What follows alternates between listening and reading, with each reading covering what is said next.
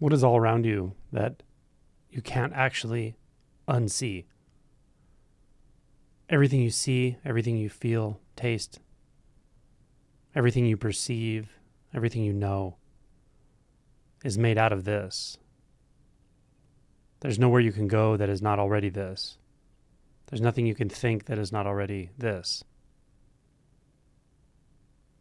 You can't have more or less of this. This does not exclude anything that you take yourself to be. This does not exclude anything in the physical world or in the non physical world. This cannot be hidden, and thus it cannot be discovered.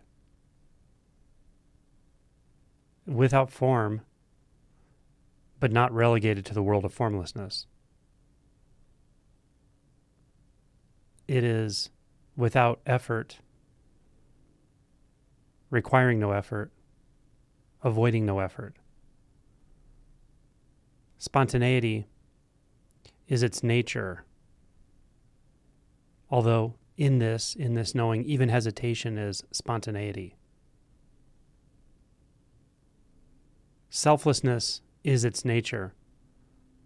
And in this selflessness, even the experience of self can be accommodated smoothly, seamlessly, without effort or problem, without addition or subtraction. So nothing here needs to be fine tuned Nothing here needs to be relinquished. Nothing here needs to be get, gotten rid of or acquired. There's no distant place that is not already this. There's no undiscovered territory.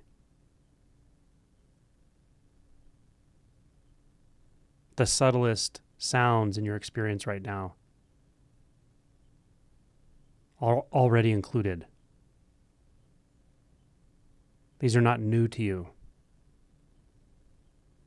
The subtlest sounds in the periphery, the subtlest sounds at the center, so subtle that perhaps they're not even perceived by the mind. These sounds themselves, ancient, timeless, are as familiar to you as the tip of your nose as your own name. The great blue sky, the clouds, the trees, the ground you walk on are as mundane and as sacred as anything. These are beyond all heavens and hells. These are primary to creation primary to Genesis. The interpenetrating manifold dharmas you carry with you. As every sensation that's perceived, no matter how subtle. Each of these sensations penetrates all times and places.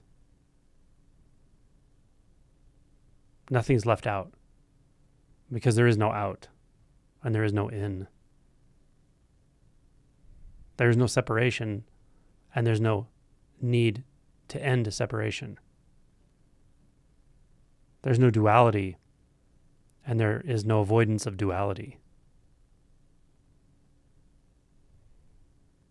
There's no negation. And there's also no need for affirmation. Affirmation and negation are one, one and the same. The front is the back, and the back is the front. The inside is the outside, and the outside is the inside. The bearded Bodhidharma has no beard.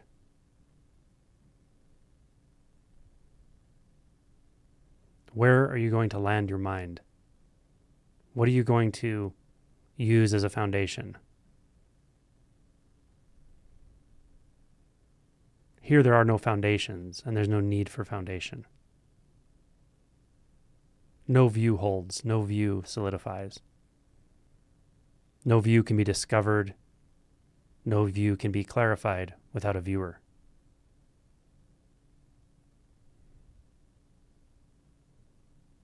So the interpenetration of all points of view converge in no view.